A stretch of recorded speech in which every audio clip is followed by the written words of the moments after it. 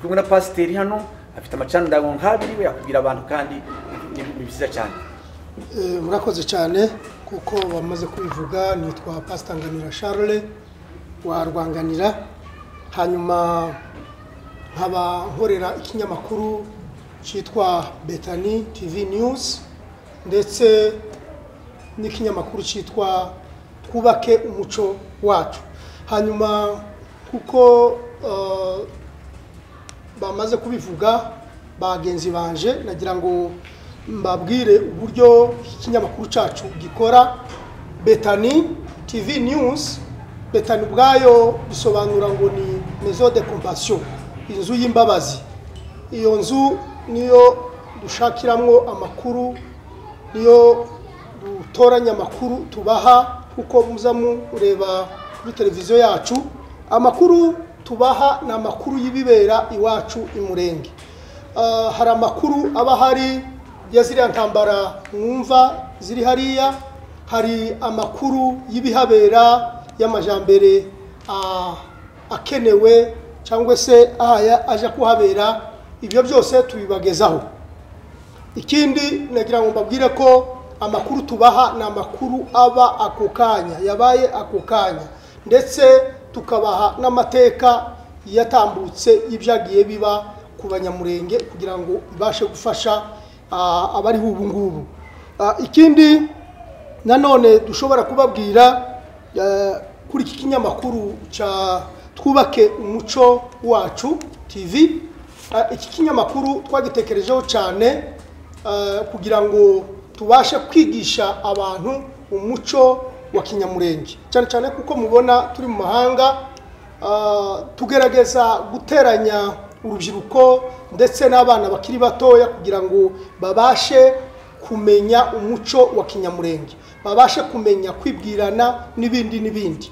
Ah, mu by'ukuri nagira ngo mbwire abadukurikira ah, iki kintu twebwe turi no mu mahanga turacumva cyane kubera ko usanga abana bagiye bakurira muri ibi bihugu wamubaza izina rye izina amazina y'ababyeyi be cyangwa se kugira ngo babwire ngo ese umurara we ni uwuhe ntashobore kubimenya. So ibyo ngibyo mu by'ukuri bigatuma tubona ko tugiye gutakaza abantu benshi. Rero niyo mpamvu twakoze iyi channel yitwa twubake umuco wacu kugira ngo tubashe kwigisha abana bacu. Kugira ngo babashe kumenya umuco. Ikindi nanone ngira ngo kangurire n'ababyeyi bacu kuri iki kintu cya umuco ni uko ababyeyi bari mu kubwira abana babo ibyongereza ibifaransa ibiswahili mu ngo zabo. Twagira ngo dukangurire ababyeyi kugira ngo aho bipfira ni mu ngo. Ababyeyi babwire abana babo ururimi rw'ikinyamurenge. Bazaba babaganiriza ikinyamurenge. Njyewe narabitangije narabikoze nta mwana mu rugo iwanje uvuga igiswahili. Nta mwana mu rugo iwanje uvuga urwo rurimi. Tubabwira ikinyamurenge bose barabizi bamaze kukimenya. Rero bivuga ko mu by'ukuri abadukurikira abari hirya no hino ko tugomba gufata uwo muco wo kubwira abana bacu ikinyamurenge kugira ngo nibaza nibazataha imurenge bazamenye kuvuga ikinyamurenge. Ikindi mu by'ukuri rekomandasiyo ushaka gutanga ndashimira abanyamurenge bari ruguru basigaye ruguru mu minembwe ndetse no mu tundi duce twose dutuye abanyamurenge ko bakomeza kutugezaho amakuru kandi natwe tukayatangira igihe kandi bakayareba ndabashimira cyane. Ikindi nanone titure tituvuga amakuru gusa ah, ya hariya mu minembwe iwacu cyangwa se y'abanyamurenge gusa tuvuga n'andi makuru ari hirya no hino abera mu- mu gihugu cyacu ndetse n'ayo muri nord turagenda tuyavuga kugira ngo abashe abantu bose babashe kuyamenya. Cyane cyane mu by'ukuri twibanda cyane cyane ku makuru y'iwacu imurenge niyo makuru twibandaho niyo ah, ni byo cyane cyane tubwira abantu kugira ngo babashe kuba update babashe kuba bamenya ako kanya amakuru ahaye ahavugirwa. Ikindi eh, nanone ngira ngo mbabwire kuko mwumvise nivuga ko ndi umupasiteri nubwo umwuga ari umunyamakuru eh, ntanga amakuru ariko cyane cyane muri izi channel za youtube tugerageza kubwiriza n'ijambo ry'imana kugira ngo ribashe kugera ku bantu benshi ah, batararimenya ndabizi mirongo icyenda ku ijana ry'abanyamurenge bamaze kumenya agakiza ariko kuko turi mu mahanga tugenda tubuvuga biciye muri, kuri izi televiziyo kugira ngo n'abandi babashe ku, kubyumva. Ikindi mu by'ukuri gikunze gufasha abantu cyane ni ubuhamya. Tugenda dushaka ubuhamya bw'abantu hirya no hino eh, ubuhamya bushobora gukiza imitima y'abantu benshi. Ah, mushaka kureba ubuhamya mushobora kubusanga kuri aya machanel ya betani tv news cyangwa se twubake umuco wacu. Murakoze cyane imana ibaho umugisha. Ndanezerewe cyane uyu munsi wa none nisanze aha nairobi mu bavandimwe bacu inshuti zacu abantu imfura zacu mu gukora gukora ku ikoranabuhanga ikoranabuhanga ryatugezeho. Eh, niba nabona umwanya mutoya wo kubashimira ntabwo abantu bibanda cyane mu kumenya ngo ibi ninde wabikoze mbere. Ninde wakoze kamera? Ntacyo bimubwiye. Ninde wakoze sisiteme yo gufata amajwi n'amashusho hanyuma bikazarebwa n'abantu benshi aba hari n'ab'igihe kizaza? Abantu ntibabyibandaho cyane. Gake. N'ababikoresha ntibagira umwanya wo gushimira. Ababi emvanta babihimbye. Ariko rero ndashimira izi mfura z'imurenge imfura mu gukorana n'imiryango yacu iri hafi na kure. Mwarakoze cyane nubwo nari ndahamwe ivugabutumwa imana izatwemerera igihe nikigera tubashimire. Hari ijambo rivuga ngo igihe cy'imperuka hazabaho indashima ariko nta ndashima ziba mu muryango wacu. Turi abantu bashima cyane ineza umuntu yakoze. Mwagire neza umuryango. Mwamenyesheje amakuru abantu batari kubona amakuru. Mwabwiye abantu ibyo batari kubona aho babibariza mwakoze ibintu byiza cyane ntabwo mwabivuze ngo bitumurwe n'umuyaga. Mbere bakicyandika baravuga ngo reparole sanvore rezekiri resite parabora volantasi sikiriputa mana. Ubu ntabwo mwatubikiye amajwi gusa. Mwatubikiye n'amafoto. Intwari tutabonye. Mwakoze ubushakashatsi mubona amafoto yazo. Abo mutabashije kubona mwaganiriye n'ababanye nabo. Nyuma biduhesha twebwe abo turuta n'abangana natwe kumenya amakuru y'abatubanjije kuko basogokuru baca umugani ngo utaravuganye na se ntiyemenye icyo sekuru yavuze nimwe mwabonanye na ba data. Mubabaza ibyo ba sekuru bavuze. Murabitubikira mu bisigariza abazaza hanyuma yanyu hanyuma yacu. Iyo mu ijuru imana igirira neza ababi n'abeza igihe nikigera umuryango uzabashimira. Ntabwo ari umuryango wantumye ngo mbashimire ariko tuzabashimira. Mbere y'icyo gihe mbaye mbashimiye ku byo mwakoze ntabwo mwigeze mukora ikintu na kimwe nabi. Byose mwabikoze neza. Kandi ntawabatumye. Ni ubutwari mwagize. Mwakoze iby'ubutwari. Ntawabashimira ngo abishobore. Ab'igihe kizaza. Kuko mwanditse amateka y'abandi. Ayanyu azarebwa amateka yanyu. Mwabitse azarebwa. Ab'igihe kizaza babashimire ko mwababikiye. Mutabacuze. Tugira abana caraziraga kunywa amata mu nkongoro ugakonoza. Barakubiraga ngo usigaze. Abana ntibamenya ko hari ibyo mwabasigiye. Ni ikimenyetso ko mwabitayeho abatagira amateka barazima. Ibinyamakuru mukorera ni byinshi ariko numva cyane amateka amateka amateka. Ishyanga ritagira amateka ni ishyanga riba ririmo riyoyoka rigashira. Haba amateka y'imiryango amateka y'imirara amateka y'ibikorwa byagiye bikorwa by'iyobokamana ubutwari mu bantu bitangiye ubwoko ibintu byo kugumana umucyo ni ubutwari mwakoze mu kutubikira ibyo byose ntabwo njye namenya ko ubivuga mbashimira. Nagira ngo mwibwire umuryango wose n'abandi bose bumva ururimi rwacu. Ariko munavuge ni ibinyamakuru mukorera mu mwanya n'uwanyu. Murakoze cyane. Ninde? Harakoze dogita ndabaruta. Nitwa bonfise gapangwa muhumure. Eh, nkaba nkorera kampani ya BMC Eh, BMC ni kampani ikora ibikorwa bitandukanye by'ikoranabuhanga ariko uyu munsi tukaba duhuriye ku bijyanye n'itangazamakuru nkaba ndi umunyamakuru n'ubundi w'umunyamwuga umunyamakuru porofesiyoneri wabyigiye. Hanyuma rero eh, ikinyamakuru cyacu ibyo cibandaho cyane cyane eh, nk'uko n'ibindi binyamakuru bikora muri rusange twibanda mu kumenyekanisha mu kwigisha ariko kandi tukagenda dukora ibiganiro bitandukanye birimo ubuvugizi ah, butandukanye haba muri kominote yacu abantu wenda babinziho nagiye mvuganira nk'abapfakazi mu karengane kabo babonye ubufasha barafashwa n'abantu batandukanye ku isi. Nanone kandi tugakora ibiganiro bijyanye no gushishikariza abantu kutibagirwa umuco wacu cyane ko twagiye dukwirakwiza mu mahanga kubera ibibazo twagize. Eh, nanone kandi um, dukora n'ibiganiro bijyanye n'iyobokamana. Muzi ko mu muryango wacu eh, du- tudukijijwe. Bityo rero tugenda tugaruka ku biganiro bijyanye n'iyobokamana kugira ngo abantu barushirizeho kumenya imana no kuyikunda. Soza wenda natanga rekomandasiyo nk'umunyamakuru nanone kandi navuga wagize amahirwe mu batangiye itangazamakuru muri kominote yacu. By'umwihariko hano muri kenya Eh, navuga ko tugeze ku ntambwe nziza nshimira na bagenzi banje turi kumwe hano n'abandi badahari bari ahatandukanye batabashije kuboneka hano. Dr yavuze ko hazaba igihe cyiza cyo gushimira ababikoze bose. Ah, mu by'ukuri itangazamakuru ni ryiza twabonye impinduka zikomeye twese mu bufatanye nashishikariza n'abandi bari ahatandukanye ku isi ku bafite izo mpano ku babyiyumvamo guhaguruka bagakora itangazamakuru kuko ni inkingi imwe mu nkingi zitanu zikomeye zubatse isi. Nanone kandi icyo nashishikariza kominote muri rusange ni ukudushyigikira kuko kugeza kuri none ntibarumva agaciro k'ibyo dukora.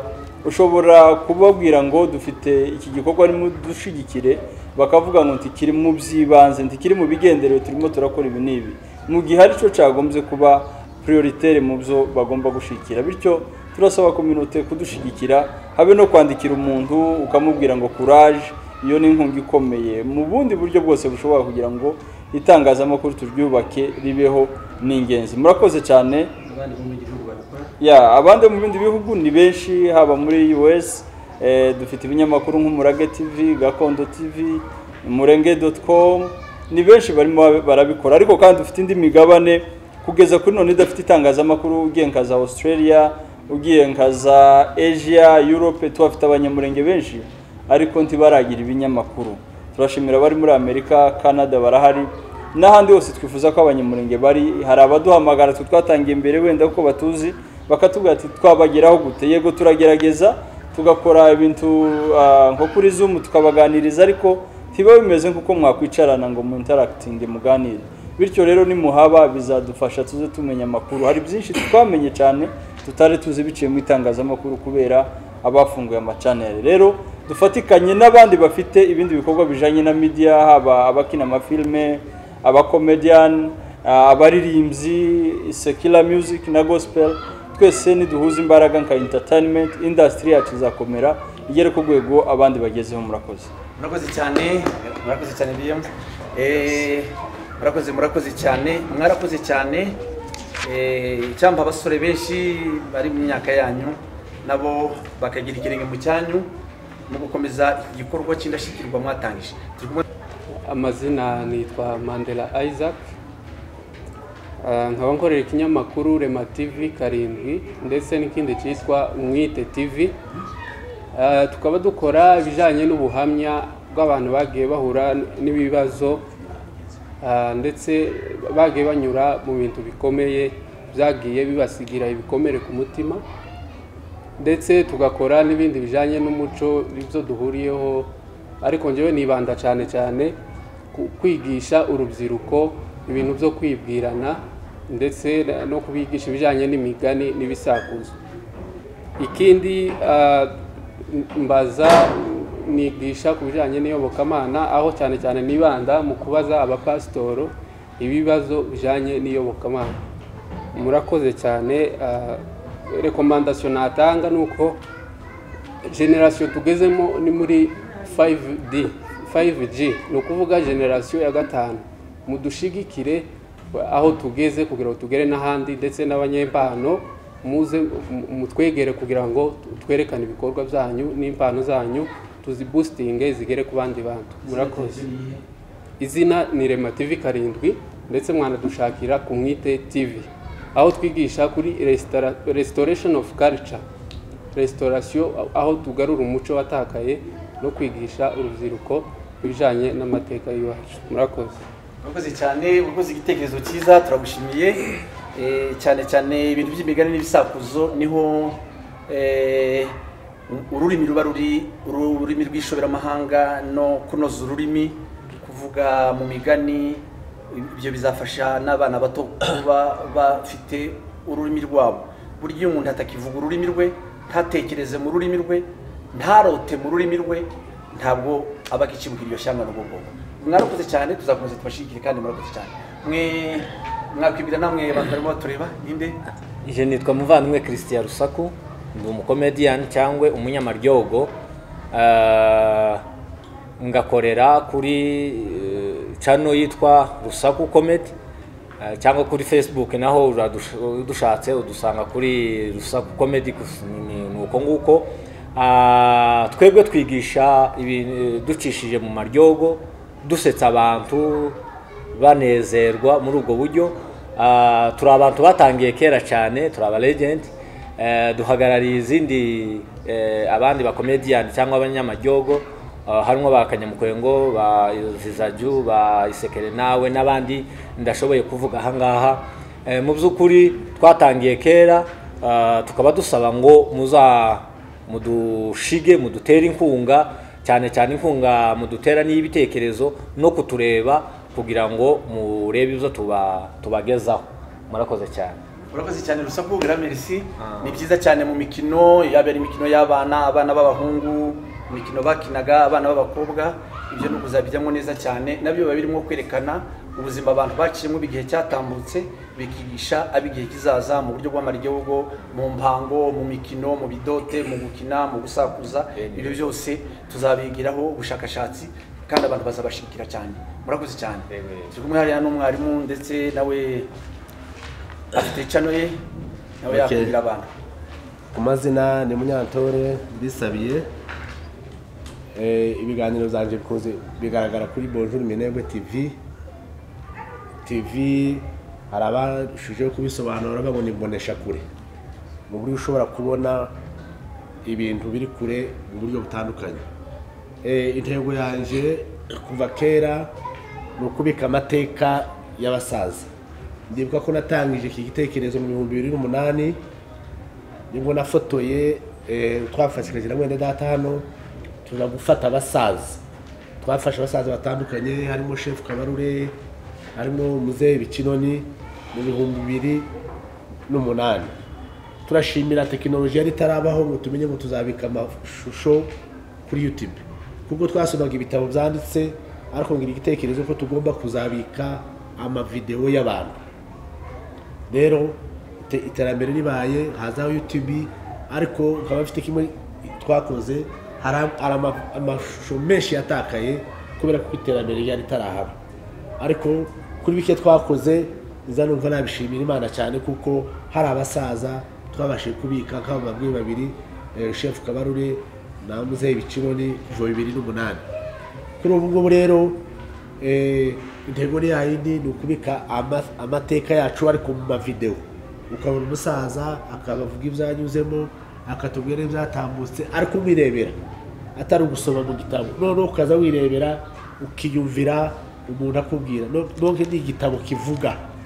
Intego yaje ko ari ukuba iki gitabo kivuga. Kuri ubu rero tukaba dukomeje tugenda ducishaho n'ibindi kugira ngo ntitudogabire mu ruhande rumwe tugashyiramo n'indirimbo niyo kamana uko bagenzi banjye babivuze kugira ngo tugerageze kujyana n'abantu bose. Kuri ubu rero eh, icyo dushimira abantu ni ukumva no gusobanukirwa. Ntibabona ko mu bantu ntekereza bakora akazi gakomeye ni abantu bakora ibintu bya mediya ariko nibo batabona ifaranga nishe kubera kuko basa n'abakorera abandi. Umuntu araza akakubwira ngo namamariza akagenda kuri banki ye akaja ibihumbi n'ibihumbi by'amadolari ariko wowe mugatandukana bwa bundi. Uyu ni umurimo wo kwitanga wo gukoresha ubushobozi ufite kugira ngo ugeze ku bantu wigisha abantu. Inyigisho ntizisaza wigisha umuntu afite imyaka icumi n'itanu akazarinda asaza akibyibuka. Twebwe rero dushireho inyigisho ku bahari n'abazaza. Donke inyigisho zacu zihoraho kugezageza igihe eh, iterambere rizaba ritakikora icyo dusaba rero ni ugusaba abantu kubyumva no gushyigikira. Tugire umuco wo gushyigikira nubona televiziyo y'umuntu uyirebe icyo yasabye kugira ngo utange igitekerezo kuko media ikorana n'ibyifuzo by'abantu ushobora gukora ibintu uzi ko ari byiza ariko ugasanga ukora amakosa. Cyangwa ugakora ibintu uzi ko ari amakosa kandi abandi bakubwira ko ari byiza. Rero ibitekerezo ni byo bya mbere kuri abazungu bavuga ngo feedback is a gift.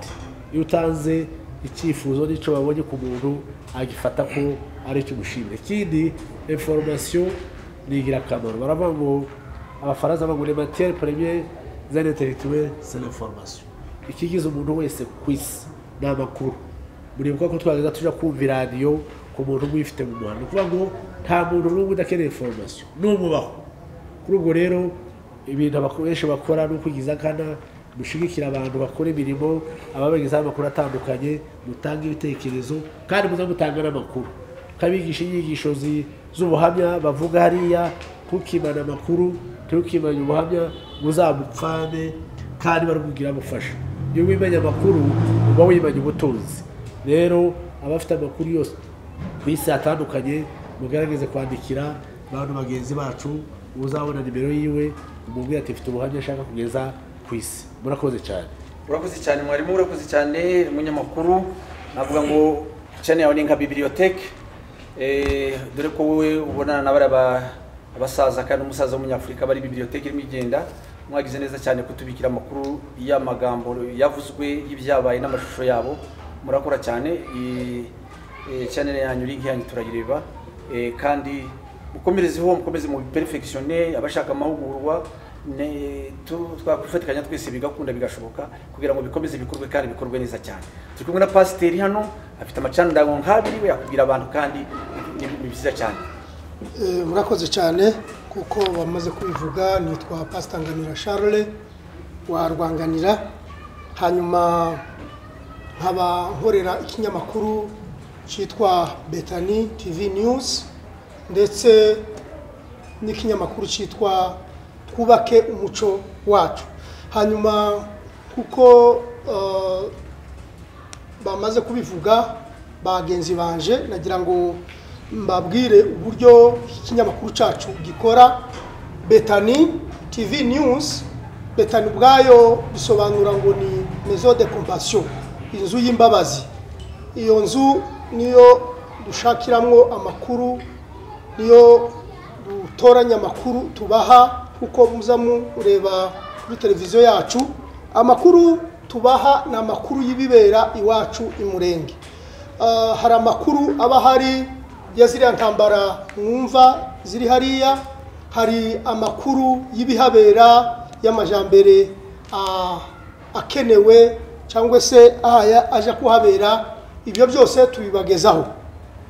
Ikindi nagira ngo mbabwire ko amakuru tubaha ni amakuru aba ako kanya yabaye ako kanya. Ndetse tukabaha n'amateka yatambutse y'ibyagiye biba ku banyamurenge kugira ngo ibashe gufasha abariho ubu ngubu. Ah, ikindi nanone dushobora kubabwira kuri iki kinyamakuru cya twubake umuco wacu tv Ah, iki kinyamakuru twagitekerejeho cyane kugira ngo tubashe kwigisha abantu umuco wa kinyamurenge. Cyane cyane kuko mubona turi mu mahanga ah, tugerageza guteranya urubyiruko ndetse n'abana bakiri batoya kugira ngo babashe kumenya umuco wa kinyamurenge. Babashe kumenya kwibwirana n'ibindi n'ibindi. Ah, mu by'ukuri nagira ngo mbwire abadukurikira ah, iki kintu ah, twebwe turi no mu mahanga turacumva cyane kubera ko usanga abana bagiye bakurira muri ibi bihugu wamubaza izina rye izina amazina y'ababyeyi be cyangwa se kugira ngo babwire ngo ese umurara we ni uwuhe ntashobore kubimenya. So ibyo ngibyo mu by'ukuri bigatuma tubona ko tugiye gutakaza abantu benshi. Rero niyo mpamvu twakoze iyi channel yitwa twubake umuco wacu kugira ngo tubashe kwigisha abana bacu kugira ngo babashe kumenya umuco. Ikindi nanone ngira ngo kangurire n'ababyeyi bacu kuri iki kintu umuco ni uko ababyeyi bari mu kubwira abana babo ibyongereza ibifaransa ibiswahili mu ngo zabo. Twagira ngo dukangurire ababyeyi kugira ngo aho bipfira ni mu ngo. Ababyeyi babwira abana babo ururimi rw'ikinyamurenge. Bazaba babaganiriza ikinyamurenge. Jewe narabitangije narabikoze nta mwana mu rugo iwanje uvuga igiswahili. Nta mwana mu rugo iwanje uvuga urwo rurimi. Tubabwira ikinyamurenge bose barabizi bamaze kukimenya. Rero bivuga ko mu by'ukuri abadukurikira abari hirya no hino ko tugomba gufata uwo muco wo kubwira abana bacu ikinyamurenge kugira ngo nibaza nibazataha imurenge bazamenye kuvuga ikinyamurenge. Ikindi mu by'ukuri eh, rekomandasiyo ushaka gutanga ndashimira abanyamurenge bari ruguru basigaye ruguru mu minembwe ndetse no mu tundi duce twose dutuye abanyamurenge ko bakomeza kutugezaho amakuru kandi natwe tukayatangira igihe kandi bakayareba ndabashimira cyane. Ikindi nanone tituvuga amakuru gusa ya- ya hariya mu minembwe iwacu cyangwa se y'abanyamurenge gusa tuvuga n'andi makuru ari hirya no hino abera mu- gihugu cyacu ndetse n'ayo muri nord turagenda tuyavuga kugira ngo abashe abantu bose babashe kuyamenya. Cyane cyane mu by'ukuri twibanda cyane cyane ku makuru y'iwacu imurenge.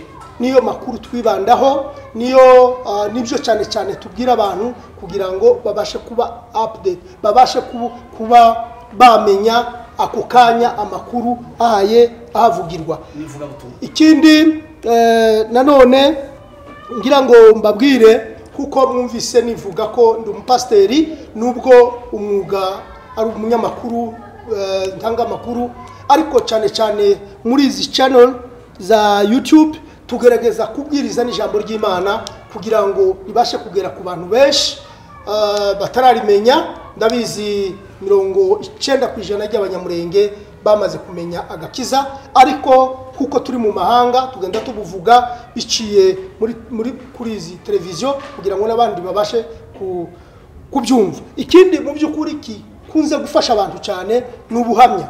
Tugenda dushaka ubuhamya bw'abantu hirya no hino eh, ubuhamya bushobora gukiza imitima y'abantu benshi. Ah, mushaka kureba ubuhamya mushobora kubusanga kuri aya machanel ya betani tv news cyangwa se twubake umuco wacu. Murakoze cyane imana ibahe umugisha. Arakoze cyane umunyamakuru kandi akaba na pasiteri wacu. Eh, ni byiza cyane dore ko ufite n'amachanels abiri. Eh, ni ukuvuga ngo abantu bazungukirwa cyane no kureba ayo macani yose ubabwiye kuko ariho amakuru meza cyane n'umucyo n'iyobokamana n'amakuru abera hariya harimo abya muri ako mwanya. Ni ukuvuga abantu bari ruguru bakomeza bakifatikanya nawe kugira ngo ama- amakuru wabahaye ubashire kuri izo channel zose ukoreraho. Murakoze cyane turi kumwe n'umunyamateka hariya nawe yakwibwira abantu nawe akaba ari n'umunyamakuru n'umunyamategeko. Eh, banyita metere munezero wili nkorera ikinyamakuru cyitwa menya amateka Eh, nagize umutwaro wo kubika amateka kuva kera kuva hagati y'umwaka w'ibihumbi bibiri na cumi cyangwa ibihumbi bibiri na cumi na rimwe. Bitewe n'uko nabonaga amateka yacu abantu batayazi kandi badafite referanse aho baje kuyashakira mbanza kugerageza kuyandika. Cyane cyane yari amateka y'ubutwari eh, ni amateka yaranze abantu cyane cyane b'abanyamurenge n'abandi bantu tuvuga ururimi rumwe bo mu karere k'ibiyaga bigari ni ukuvuga muri congo mu rwanda mu burundi eh, ndetse no mu bugande. Eh, nshaka ngo ayo mateka abikwe kugira ngo abantu generasiyo zizaza nyuma zizabashe kuyabona eh, nizikenera kuyamenya zizagire aho ziyashakira. Banza kugerageza kuyandika. Eh, nandikaga amateka cyane cyane muri kongo kuko ni ho habaye ibibazo byinshi. Intambara nyinshi zagiye ziba zari zigamije eh, ibintu bitandukanye ariko cyane cyane birwanya ubutegetsi bubi bwahabaye. Hagaragara ubutwari cyane hari abantu bamwe banditse amateka akomeye. Tubanza kugerageza kuyandika Eh, ariko kuko twabonaga abantu bose wenda gusoma bitazaborohera cyangwa kubagezaho ibitabo bizagora. Eh, nyuma tuza gutekereza gukereya n'iyi channel ya yitwa menya amateka kugira ngo bizorohere noneho umuntu uwo ari we wese aho azaba ari ko ikoranabuhanga ni cyo ryaziye. Ni ukugira ngo ritwegereze cyangwa ryoroshe kubona amakuru. Eh, rero iyi channel ni cyo imaze iriho amateka y'abantu batandukanye eh, y'ubutwari cyane cyane ibikorwa bagiye bakora bidasanzwe. Ayo mateka wayasanga kuri menya amateka ndetse eh, mvuze abasirikare ko si abasirikare gusa hari n'abandi bantu. Bakoze ibintu by'ubutwari cyane by'indashyikirwa. Ayo yose uzayasanga aho ngaho. N'ayo tutarakora turi mu bushakashatsi bwo kuyashaka kuko kwegeranya amateka ni ibintu birushya cyane. Icyo bimaze rero bino bintu ni ukugira ngo byigishe abantu. Baciye umugani baravuga ngo utazi icyo se utaraganiriye na se ntazamenya icyo sekuru yasize avuze ni ngombwa rero nubwo abantu bavuga ngo barashaka kujya imbere cyane umuvuduko ariko ukwiye no kureba inyuma Eh, ndagira ngo no mu gifaransa asize umugani bavuga ngo ujya zigenda neza ngo azabanza agasubira inyuma bukeya ni ngombwa rero kugira ngo ubanze urebe inyuma hanyu hanyuma uzabone guporojeta n'imbere mu bwihe ni cyo rero bimaze eh, nkangurira abantu rero cyane cyane urubyiruko mu by'ukuri bitaye kumenya ibintu by'ahandi kubera iterambere ariko ni byiza ko bamenya iwabo bakamenya amateka yaho bakamenya ubutwari bw'abakurambere babo bakamenya ubutwari eh, bw'abakuru babo cyangwa base kugira ngo babyigireho bazabashe kuba abantu beza bazagira isi akamaro eh, mu gihe barimo cyangwa se mu gihe kizaza. Nkaba nkangurira urubyiruko kwita kuri ibi bintu ko ni ibyabo ni- nibo tubikorera kubera uwo mutwaro twarawugize ntitukavunikira ubusa. Ibintu bazajya babyitaho babyige babimenye bizaza bibafasha eh, kuko nabo bazaba abagabo bagire ababakomokaho nabo bazabaheza ayo mateka. Hanyuma rero ndangiza rekomandasiyo natanga ndasaba abantu batandukanye bafite amateka eh, bazajya babohoka bemere kuyatanga. Hari abo tuyasaba bakavuga ngo ni ubucuruzi bwo kuri za youtube n'ibiki n'ibiki mu by'ukuri tubonamo inyungu nkeya cyane. Icyo tugamije cyane ni uko mutabizi ni ukugira ngo mubone ibi bintu mwifuje mukabura aho mwabikura. Rero ni cyo izi channel zimaze eh, mu bice bagenzi banjye tugiye dukora ibitandukanye ariko twese tugamije kubabikira amakuru meza azabubaka ndetse akazubaka n'amasosiyete murimo. Rero muzajya muduheza amakuru nyamurika turabinginze. Mwumve ko namwe mwubasa abantu iyo mutanga amakuru abafasha kugira ngo babashe kubaka abantu bazima. Murakoze. Arakoze cyane metero biri eh, ndumva ari byiza cyane kubika amateka y'abantu bagiye bakora ibintu by'ubutwari. Umuntu gukora ibintu by'ubutwari nuko aba yitanze ukwitanga kwe yagera ku bintu by'indashyikirwa akaba akoze ibintu by'ubutwari. Namwe ibyo murimo mukora mwaritanze. Ibi murimo mukora abanyamakuru ibintu by'ubutwari cyane abantu bari mu mirimo yabo mukora ubushakashatsi mukora ingendo mutanga amafaranga yanyu mugura ibikoresho. Abantu bose kuvizita waravuze ngo channel yawe yitwa? Yitwa menya amateka amacane yose umuntu akayakirikaho sosiyete yose gushyigikirana kureba amakuru y'iwanyu ukayasoma ukaba wishyuye tike y'umuntu wagiye yatanga nta nta- ntabwo ari ibintu by'ipfabusa. Ntabwo amakuru amusangaho aba yatelefonye aba yakoze ubushakashatsi ni ukubashyigikira kubw'ineza y'abahazaza. Nubwo twe tutabaha imidari hari igihe abana banyu imiryango yazaterana ikabaha imidari y'ibyo mwakoze. Turi kumwe n'undi munyamakuru w'umusore nawe yakwibwira abantu ikinyamakuru cyitwa Mind Mind TV kuba tumva ururimi rw'icyongereza bisobanura gusana ibyangiritse. Hanyuma twibanda gutanga amakuru ah, dushingiye ku bintu bitandukanye. Cyane cyane twibanda nko ku muco tukareba ni ibiki byatakaye mu muco wacu wa kinyamurenge kugira ngo tubigarure. Dore ko n'abakurambere cyangwa se abasogokuru baciye umugani ngo uzi uta umuco ugatora ico. Birababaje cyane kubona ubwoko bwacu ahantu bugeze. Kuko iyo utaye umuco nk'uko nari mbivuze uzi utora ico. Benshi ko baragenda mu ico. Rero tukavuga ngo reka turebe biriya byatakaye kugira ngo tubisigasire. Tubibumbatire kugira ngo abazadukomokaho bazagera aho bigira tukanabibabikira. Ikindi ntabwo ari ibyo gusa tureba tugenda tureba haba mu miryango bitewe n'uko twagiye tuva muri gakondo turi impunzi hirya no hino hatandukanye imiryango kirasenyuka ingoko zirasenyuka noneho tukareba ni gute dushobora gusana biriya bitari kugenda neza. Hanyuma tureba no kuyobokamana hari byinshi rwose ugenda usanga ah, bigenda bitakara noneho ikinyamakuru rero nkorera nta kindi kintu dushinzwe. Dushinzwe kubaka tugiye tureba ni ibihe byiza gukopera. Kuko buriya kwiga no kwigana kureba esike abagize ibyo bageraho ni iki bakoze. Natwe icyo ngicyo kibaye cyiza tukakizana mu muco wacu. Na bya bindi bitari byiza byenda bifite uburyo bumwe cyangwa ubundi ah, byatumaga byenda sosiyete itagenda neza na byo tukigisha abantu kubireka kugira ngo tuze kugira gute turebe biriya rero byiza tuba ari byo tuzana ah, mu muco wacu. Ikindi kandi dutanga turebeye ku buhamya bugiye butandukana nk'uko bagenzi banjye babivuze ariko nabwo bugamije kubaka cyangwa se gusana. Ni ikinyamakuru cyane cyane dutanga edikasiyo mu kwigisha ariko tukanibanda mu gutinyura cyane cyane ababyeyi aho nkunda urubyiruko hibanda no ku rubyiruko ntinyura ababyeyi murekure abana kugira ngo baje mu mpano zitandukanye. Kuko imana iyo ije kurema umuntu zimuremana impano. Noneho ugasanga twebwe bitewe n'imyemerere y'idini tubamo ugasanga impano zacu twarazishe rero ngashishikariza ababyeyi abakiri bato gutinyuka baga- bagatinyura n'abana kandi bakabashigikira.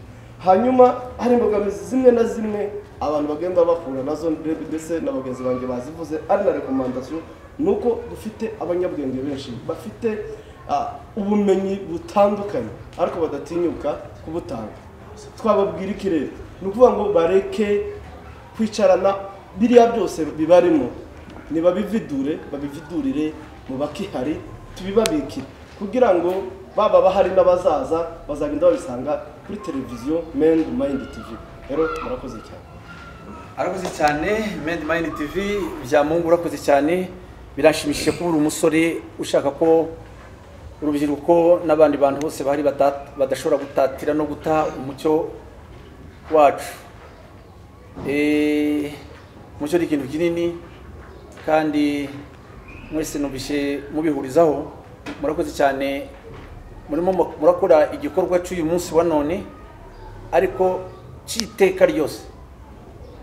Muri abahuza ba pase na fitire ni ukuvuga ngo akahise mukora ubushakashatsi mukakamenya ibirimo biba mukabimenya mukabisigira abazaza. Muri kiraro muri umwigwaso ntidushobora kubona ukuntu tubashimira mu mwanya muto. Mwarakoze murimo murakora. Ibikorwa byanyu ni iby'iteka. Ibi birimo bibikwa aha ntibizashira.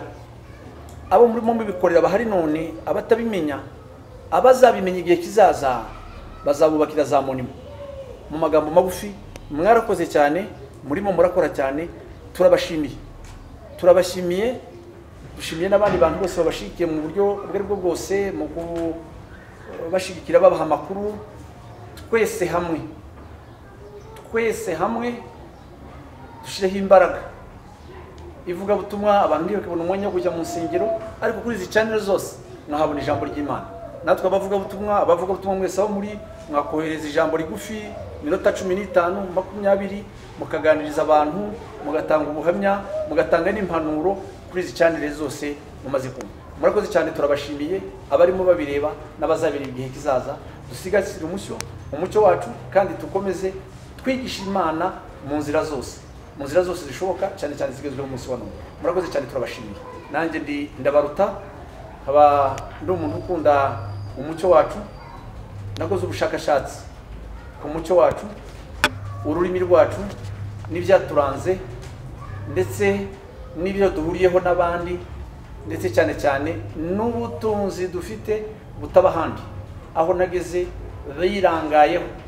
Abataye indimi zabo abataye amazina yabo abataye umuco wabo barashize. Kugeza ubwo hasigaye umuntu ku giti cye ntibagira umuryango ntibagira inzu ntibagira umurara ntibagira n'ubwoko. Ibyo byarashize kandi ntaho bazabigura ntaho bazabikura. Naho mwebwe mwibutsa abantu icyo bari cyo. Indwara kirimbo zirimbura abantu. Umugome gica hiterere yakoresheje yabanje akuraho abayuda amazina yabo. Abakuraho imana yabo. Ababuzi iyobokamana ryabo abakuraho icyo bari cyo.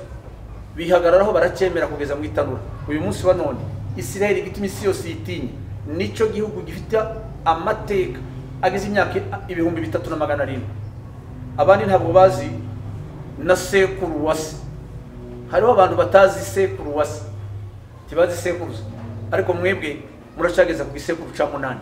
Kandi mukamenya uko muvukana iso avukana nande sekuru avukana nande sekuruza avukana nande sekuruza avukana nande. Niba muri abemeramana musome muri matayo igice cya mbere. Haranditse ngo aya niyo masekuruza ya yesu ngayo. Kugera kuri adamu ibisekuru cumi na bine ibisekuru cumi na bine. Niba bibiliya yandika ibisekuru ibisekuru bituma amazina y'abantu bamenya. Ntimugate umucyo ntimugate amazina y'imiryango yanyu. Niyo mpamvu uyu muntu ambwira ngo ni rwamakombe. Umuntu akambwira ngo ni rukunda amata. Umuntu akambwira ngo ni rugira. Umuntu akambwira ngo ni kazigaba. Umuntu akivuga agahita amenywa na benshi mu kanya gato cyane. Murakoze gusigasira umucyo n'iyobokamana. Imana ibibahe imbere mu gihe cya none igihe kizaza. Murakoze cyane.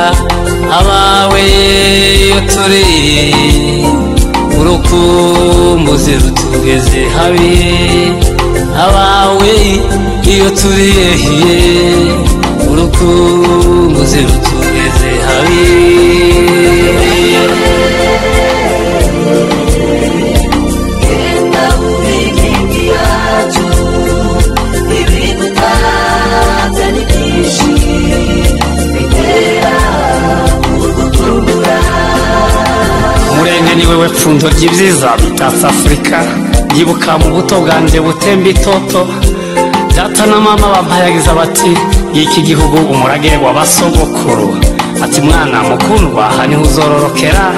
Ariko kubwo kubana n'umwanzi uhanda kurusha amahwa sitarago zabaye nyinshi. Ubwo nza kwisanga imahanga iyo umwana arira nyina ntiyumve ndagukumbuye gakondo. Kumbuye ibyiza byawe murenge imisozi myiza cyane amashamba ya kimeza umuco wawe ntagereranywa akayaga ko ku mirambi wewe kabando kabagutuye sinzagoheka na rimwe nzahora mwibuka murenge nibunda bibogobogo minembwe indondo yose kugeza mu rurambo. Kiya naho naho naho naho ni ho twavukiye. Helicopters team kiya mama murenge mama murengeye yeyeyeye murenge murenge gakondo yawe ibyiza bigutatse.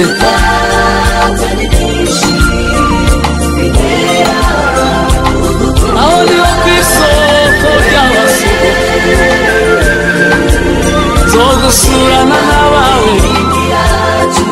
murenge gakondo hey. murenge murenge mama. Hey, murenge sinoguhayagiza ngo nkurangize umwanya w'amanga muto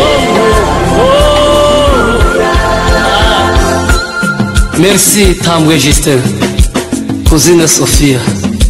Isaramu nishi ku bana twakuranye?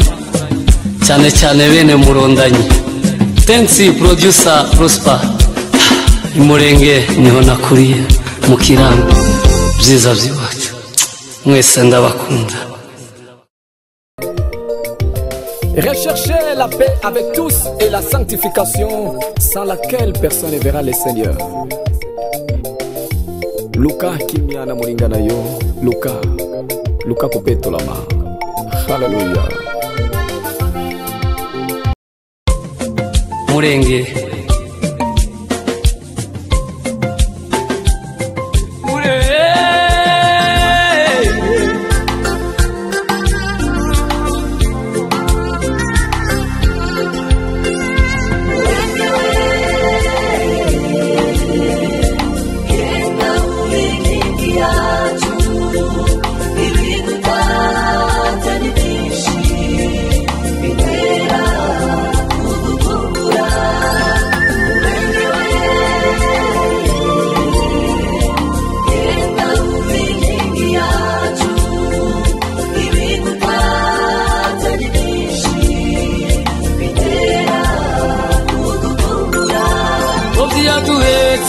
murenge yaduhetse gakondo bwiza bw'abasogokuru ntaho natugereranya abawe iyo turi.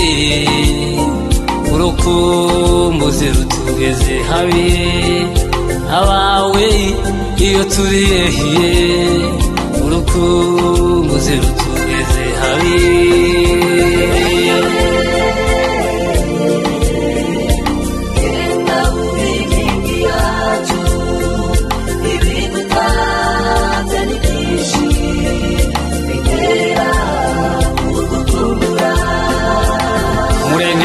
murenge ni wewe pfundo ry'ibyiza bitatse afurika yibuka mu buto bwanjye butemba itoto. Data na mama bampayagiza bati y'iki gihugu umurage w'abasogokuru ati mwana mukundwa aha ni ho uzororokera. Ariko kubwo kubana n'umwanzi uhanda kurusha amahwa sitarago zabaye nyinshi. Ubwo nza kwisanga imahanga iyo umwana arira nyina ntiyumve. Ndagukumbuye gakondo. Kumbuye ibyiza byawe murenge. Imisozi myiza cyane. Amashamba ya kimeza umuco wawe ntagereranywa. Akayaga ko ku mirambi wewe kabando kabagutuye. Sinzagoheka na rimwe nzahora mwibuka murenge. Nibunda bibogobogo minembwe. Indondo yose kugeza mu rurambo. Jya naho naho naho naho ni ho twavukiye. Helicopters team jya mama murenge mama murenge ye ye ye ye ye murenge murenge gakondo yawe ibyiza bigutatse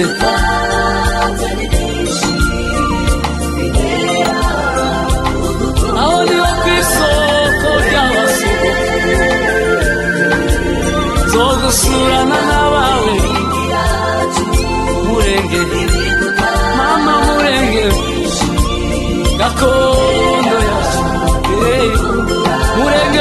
murenge mama oh, hey, hey, murenge sinoguhayagiza ngo nkurangize umwanya w'umwana muto merci tambwe justin kuzine sofia. Isaramu n'iki ku bana twakuranye cyane cyane bene murondanyi. Thanks producer prosper.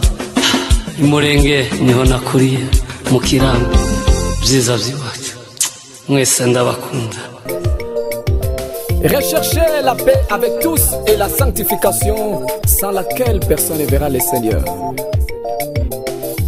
Luka kimya na mulingana yo Luka Hallelujah